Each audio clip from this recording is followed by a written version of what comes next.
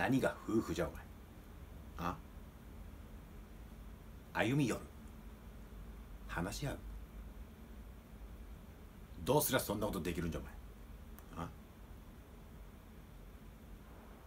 結婚したその日からずっとお前殻の中に閉じこもっててたろお前？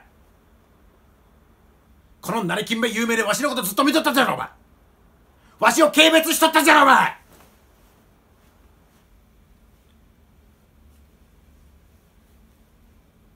好きなだけ軽蔑すれじゃがの。Anyways と契約できりゃうちは業界トップじゃ。ちっぽけな広島の運送会社。東京にでっかいビル建てて。田舎者の成金が。日本一になるじゃ日本一だけど。